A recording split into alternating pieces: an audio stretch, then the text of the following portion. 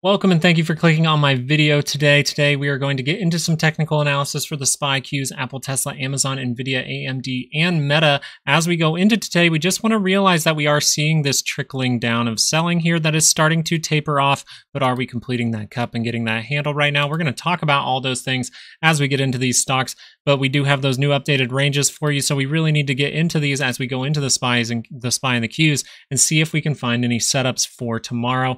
Let's get into it. So on the SPY, those updated daily ranges, the daily ranges is 50 522, 51 uh, to the upside, and then we have 517, 13 to the downside here. So the range you're seeing, it's starting to shift down a little bit, um, which usually isn't the best sign. That means we can get some kind of reaction down, but we know that we could be getting some kind of reaction up the way that stocks are looking right now. So we have to go through a lot, but we have to be open to downside. What I wanted to point out about the SPY is really we're just struggling right around that five day moving average. Okay, we weren't able to lose that five day on the daily chart here. Um, um, yes, we're closing slightly below it. We're seeing that selling pressure come in. This bar does not look good for the day. And we could see that go all the way down to the 20. Where would that take us? The bottom of the weekly expected move. So if you're new to this channel, we give daily and weekly expected moves. So that would mean that on the daily, if we start to get ex excited early on tomorrow and we get out to here, you actually have a 68% chance to see that fade, see that come down into this area. And then on the weekly side, these purple lines here, you're going to see if we break through this pretty early on in the week, you have that 68% chance to get a bounce land back within these purple lines. So that's overall what you need to know uh, about how we do things around here. But really what I see going forward for the SPY, just if it's able to um, buy up, right? If we're able to actually curl up this MACD, get into positive territory, we can see that an extra move higher. This isn't necessarily dramatic selling at this point, and we could actually see this continue tapering off like this, tapering off like this, maybe even head a little lower and then see some kind of reaction to then head higher by the end of the week. We do get a data drop tomorrow, so we will be live tomorrow. Please make sure you are liking and subscribing. Make sure you're subscribed with those notifications on so you can join us for those live videos where we answer questions and we show, um, we just run through stocks like crazy. I have ADHD, so I like to click around a bunch of stocks and we show you some trade setups, which we gave out on Patreon this afternoon with Apple. So as of right now, we're just ending the day at the lows. We haven't broken through that at that point. So tomorrow morning is going to be very important with that data. Um, and as we pop over to the cues, right? We're seeing we're popping over to the cues here. We're noticing that range moving a little bit down. The cool part about the cues today that that daily expected move was right around this level here. And what do we do? We drop down to that level almost immediately. And what do we do? We land back in this zone, right? So 68% chance to land. Now we've updated those for you. So the daily expected move for tomorrow, 448.34 to the upside, and we have 441.18 to the downside. So the one thing I just wanted to point out as we are seeing this kind of trickling down, selling, you know, getting a bunch of flags and then selling off this really looks like it wants to go down, and we're heading into negative territory if that happens. So we could see an escalation in selling tomorrow. We'll have to see if that happens. We want to check where the cues are at. Are they around that five day moving average? And you can see right now they're sitting right on it. Okay, they're sitting right on it, just above it. So we could still see that. Uh, you know, when you come out of these Bollinger Bands, we've talked about this before. You like to reconnect with the five before you continue a move or before you break down. You want to see what happens around that five day moving average. So the 30 minute here, um, we were just talking about how it was overall flagging. It was overall flagging here, and if it wanted to head higher, well, it's going to make some kind of structure, right? Left head, and maybe this is going to be our right shoulder to actually head higher as we did break out of um, this little uh, flag here that we go in, got going to the bull side. So really, as of tomorrow, we're going to be paying attention to live if this is able to curl up into positive territory. Uh, the only thing that would be a problem is this two hour did show a red impression on the histogram at this point. So that just means this two hour MACD is telling you something different. It's telling you that momentum to the upside is dying out at these levels with these divergences up here. And so we might see lower prices. We might even see the daily start to cross over to the downside as of tomorrow goes. Do I think that'll happen? I actually think this probably has one more push left in it. I really do. Um, but it doesn't matter what I think. We trade like water out there. We trade based on the price action. We don't try to predict anything. We just give ourselves ideas and then whatever starts to happen in front of us, then we react to that. So if this crosses up into positive territory, I'm going to say, okay, this thing can go a little bit higher. But if it wants to keep going down negative, then I have to pay attention to that two hour, see if that can go negative. Maybe we're starting that negative trend. Apple going forward, this was a trade setup we actually gave out on Patreon. We just said be a little bit careful with this as we aren't uh, all the way down towards our weekly expected move. I know um, I think it was uh, maybe it was more Pando came out and said, "Oh, is that the daily expected move?" You might have seen a red line across here. That's just the price, right? Um, so this daily expected this uh, divergence down here on the 30 minute, something that likes to curl up that two hour. So I just posted this, and since we posted that right down at this level right here, we've seen some green tick up. We're seeing that sell off at the end of the day. So we have to see maybe it creates a triple divergence, or maybe this was just some people taking profit, but it looks eerily similar to the previous uh, action up in here. So we could be seeing another one of these drops, but you are tapering off. So maybe you just make a little point here and then head higher. We do get that data in the morning.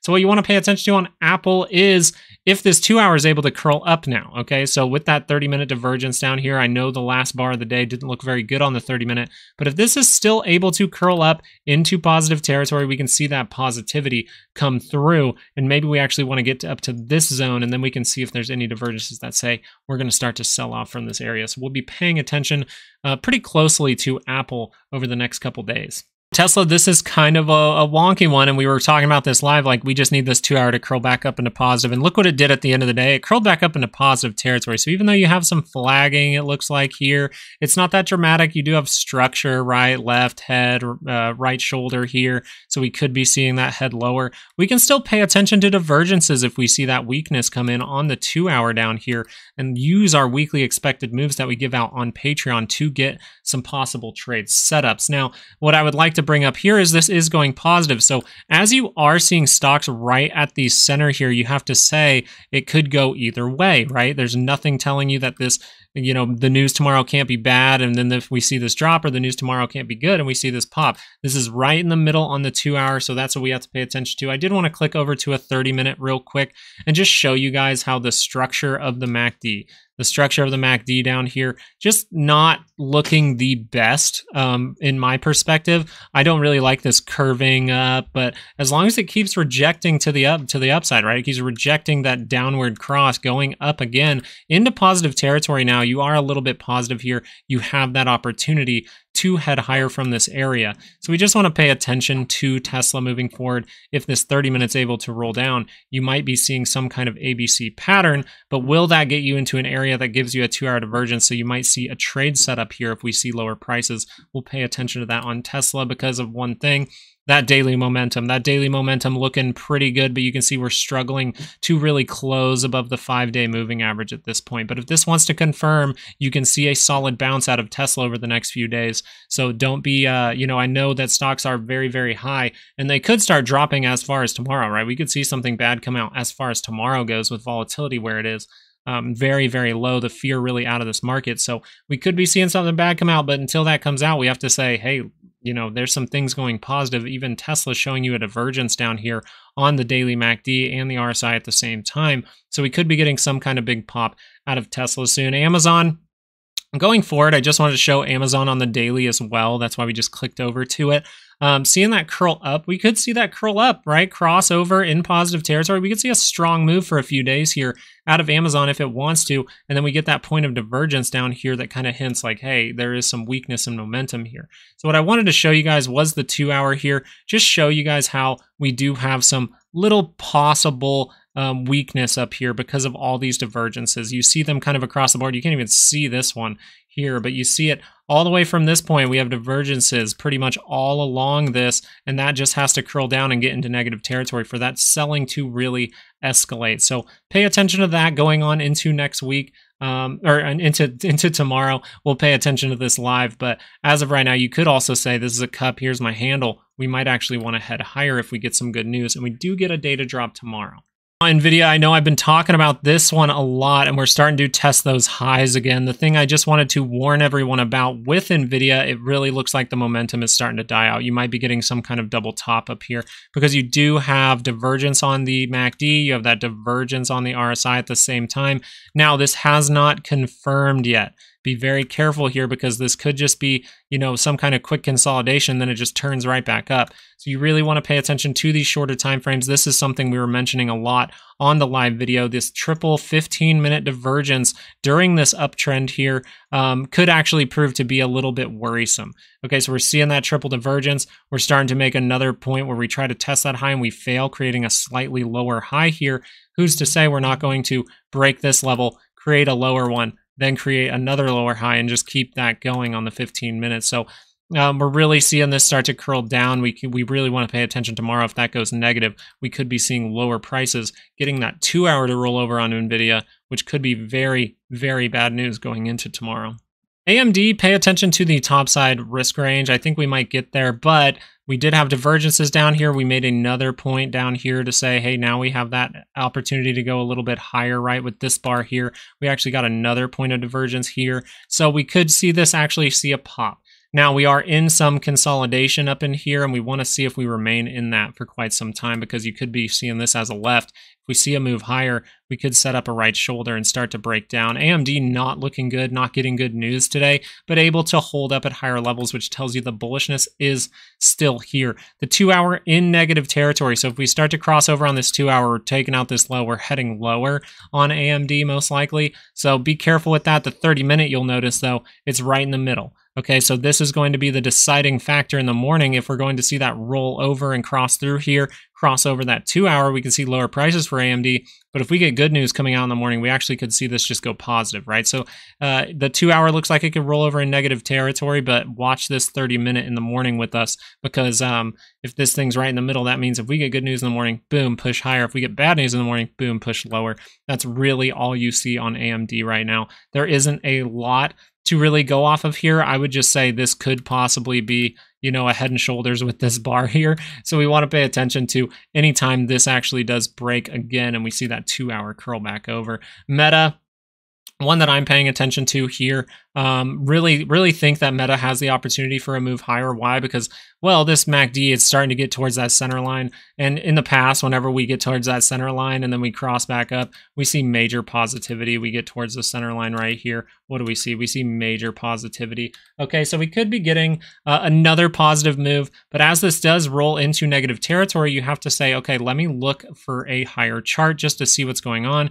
Oh, well, now I see there's possibly a double top up here and we could be getting this to roll down the other way with this crossing of the MACD. So if you really want to see higher prices, you don't want this to go negative. You want this to be a short pullback, and then we start to cross up on that 30 minute or something like that and head to higher levels, maybe creating a more recent two hour divergence right here. That would make a lot of sense. Now we have to be careful and look out for some upside or downside because we do get news, the pretty important news, PCE on Friday, and the market is actually closed. Okay, so that's going to be a very, very big deal because if the market's closed on Friday, that means that everything people are holding over the weekend could be in danger. So we want to be a little bit careful going into taking any trades into this three day weekend. Something that I think could be very, very possible. We're seeing volatility drop off again, right? And I think a two hour divergence, even if it comes down to 12 12, we see reactions of volatility at that 12 12 level a lot.